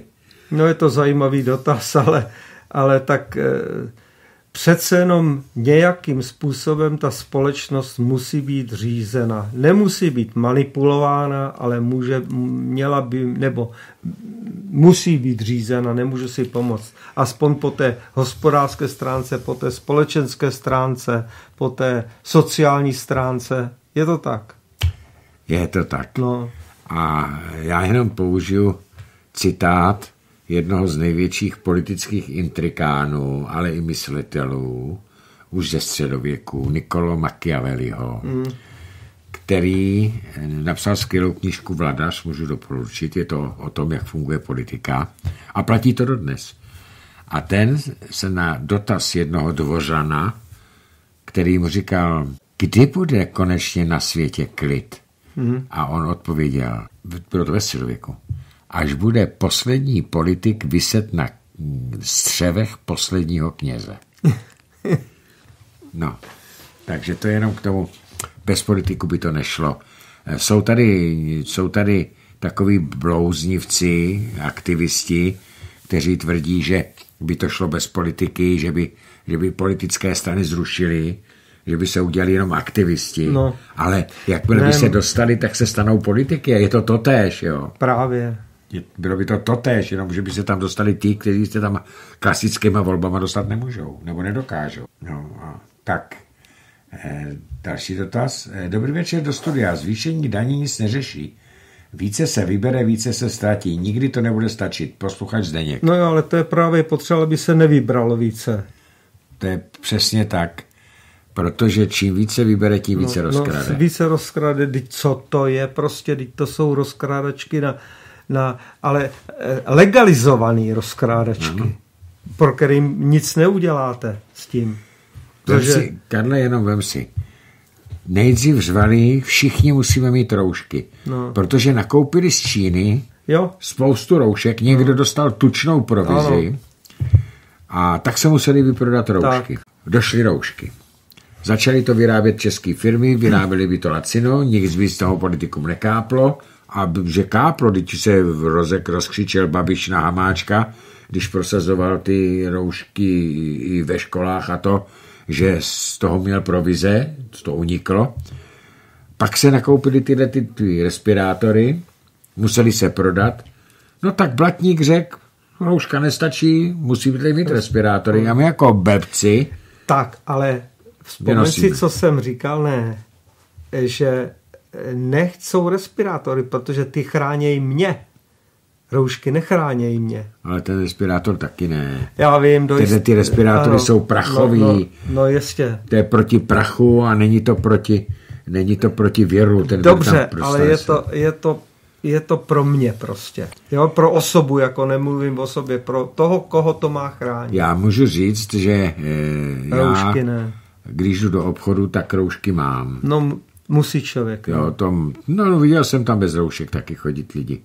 Ale abych je nosil venku, no, t- kde nikdo není, ne. no to bych musel být nebyl. S potěšením vám říkám, nebo eh, informuji, že jsem byl v sobotu na Hračanském náměstí na jedné demonstraci a eh, jedině, kdo měl tam roušky, byla policie. Já jsem byl v neděli na Zlíčině na konečné stanici metra a čekal jsem tam, že jsme čekali návštěvu Leoše Budskýho, to je náš posluchač, a on se zdržel nějak, nebo mi zavolal, že přijede dřív a pak jsem tam čuměl o půl hodiny a tak jsem tam seděl na ty lavice bez roušky samozřejmě, venku na lavičce, na sluníčku a pozoroval jsem, většina lidí ty roušky nosila pod nosem venku. Jo. A teprve, když šli do toho metra, tak si je dali na ten nos. Mm. A hodně lidí, hodně lidí ty roušky nenosilo venku vůbec a dokonce jsem viděl tři lidi za tu půl hodinu, co jsem tam čekal, který šli bez roušky i dovnitř do toho metra. Jestli si ji nasadili někde dál, to nevím. Jo. Jo. Eh, dejme tomu, v těch dopravních prostředcích je to oprávněný. Venku ne, protože zase nejsem, nejsem eh, honěný ve zdravotní eh, problematice, ale říká se, že se to zahušťuje pěkně v ty roušce každému, kdo to, kdo to má. Když už chytne nějakého toho víra, tak že se mu zahušťuje v ty roušce. Hmm, ano.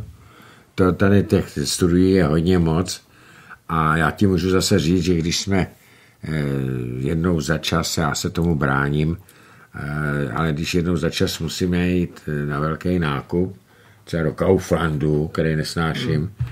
ale i v Lidlu a v jiných, tak když jsem tam třeba hodinu v, tý, v tom respirátoru, tak mi se najednou začne dělat zlé. Jo.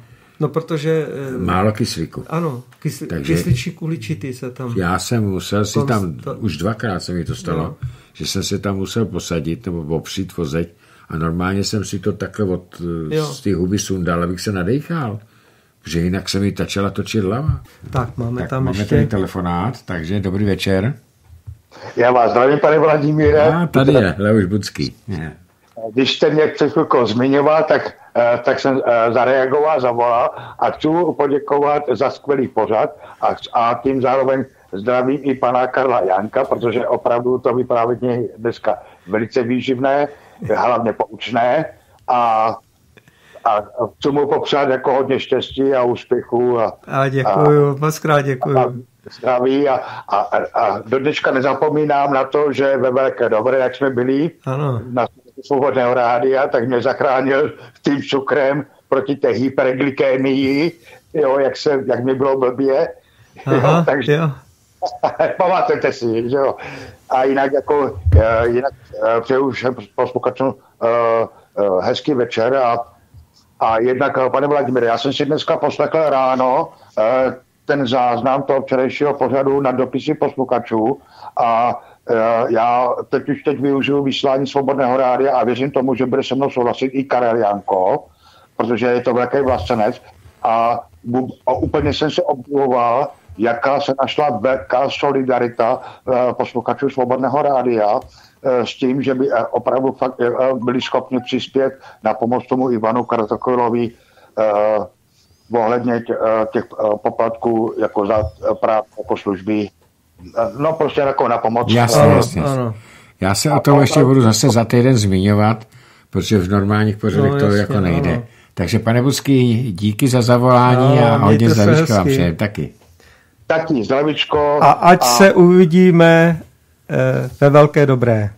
Ano, už se na to těším taky. Tak jo, opatrujte se a hezký večer přeju vám oběma a všem posluchačům Svobodného rádia. Děkuji. Naschle. Tak a já vemu ještě, že mám ještě chvilku, tak tady přišla ještě vemu nějaký ty Eh, ještě jednou dobrý večer. Dokážete si představit, jak by se v případě korespondenčního hlasování začali mezi sebou hádat, kdo víc podváděl? Posluchač Zdeněk. No, eh, já se obávám, jestli by se nedohodli. Jisté kruhy. Jisté kruhy by se dohodli, demožumba určitě, ale tam ty, tam ty by se no. tam, tam hádali samozřejmě, by se hádali. Eh, vážení pánové, s tím výběrem daní, to se naučili z filmu Pišná princezna. Uhlíři, daně máš zaplacený. Ani na příští rok taky, že? Nemáš. Jitka z Budějovic. Yeah. Samozřejmě. E, ano, naučili se to pravděpodobně a budou, za, budou nás dřít bez nože. E, tady další, a bude poslední, protože bude 9 hodin. E, řešení podvodu na statistice by mohl vyřešit audit výpočetních programů Ruda z Prahy. Ano, to by no, mohl jistě, vyřešit audit. V tom programu. programu to je. To je v programu přesně, tak jako to, to se právě říkalo o tom amerických volbách, no.